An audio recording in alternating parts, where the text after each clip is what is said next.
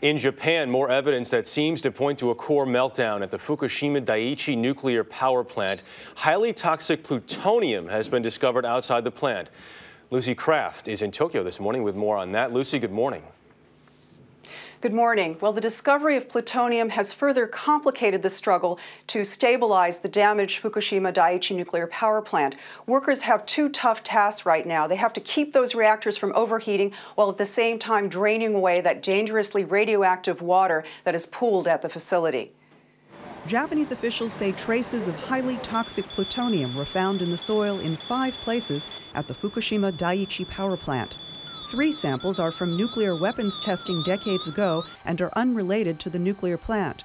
Safety officials insist the plutonium poses no immediate threat to humans. It's hard to imagine that there would be very, very serious health consequences from it. The discovery supports suspicions that dangerous radioactive water is leaking from damaged fuel rods. Together with the fact that the water found outside is highly radioactive, I think it can be said that this is proof that the fuel rod has melted a bit, and this is a very serious thing. In Japan's parliament, the prime minister faced a grilling by opposition party members for lack of leadership in the moments following the earthquake, tsunami, and nuclear crisis.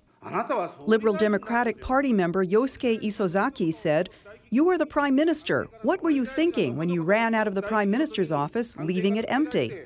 Meanwhile, this elementary school in quake ravaged northeast Japan reopened for the first time since the tsunami. Teachers, students, and their families gathered as they came to grips with losing 70% of their students. School principal Teruyuki Kashiwaba says, I told the children today that although many of their friends have lost their lives or are missing, everyone here should work together and do their best. Well, the talk today in Tokyo is that TEPCO, the owner of the damaged plant, may be temporarily nationalized. The company is facing tens of billions of dollars in liabilities, so the government may take a majority stake. Uh, it should be noted that Chief Cabinet Secretary Yukio Edano, however, did deny those reports. Jeff? All right, Lucy Craft. Thank you, Lucy.